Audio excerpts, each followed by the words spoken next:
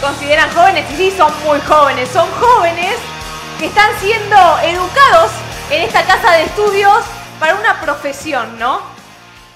Y muchos de ustedes ya piensan en el campo, porque tienen alguna que otra relación con el campo, ¿sí? Con el sector agroindustrial, me gusta decirle a mí.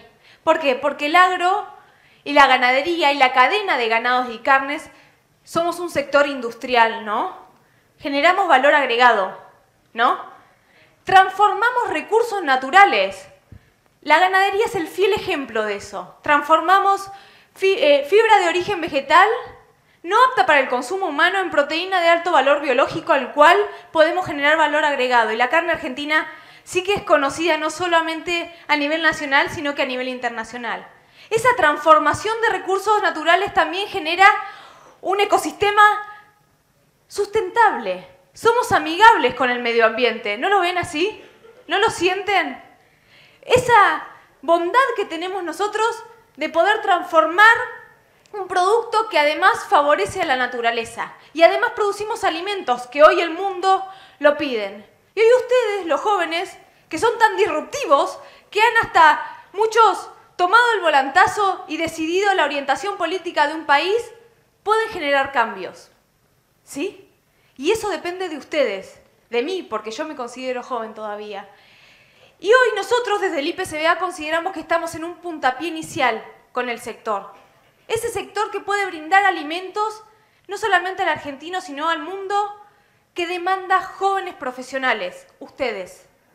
No solamente jóvenes relacionados con la cadena o con el sector agroindustrial, sino con la logística, con la contabilidad, con la comunicación, con el marketing, con la ingeniería. Todos esos tipos de profesiones van a ser demandadas por la cadena. ¿Por qué? Porque ustedes saben utilizar la tecnología.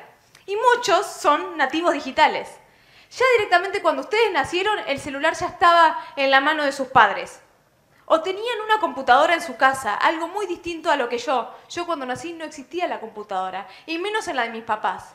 Entonces, esa posibilidad que ustedes de saber utilizar la tecnología no la tenían nuestros antepasados. Y con ello también poder entrenar hoy la tan famosa inteligencia artificial y trabajar con ella. Ese cambio, esa disrupción de los jóvenes puede ser tomado por las generaciones anteriores, que saben cómo producir, cómo producir la tierra, ¿no? Cómo criar los animales.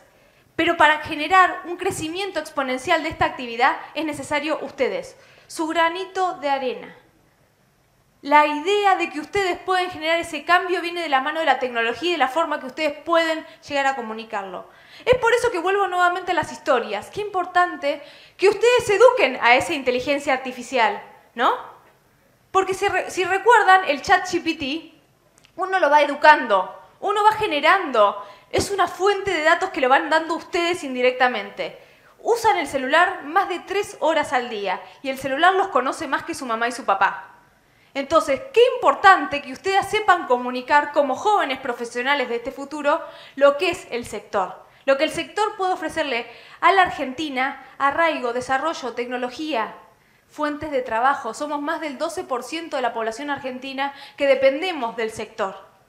Generamos miles y miles de dólares para la economía argentina.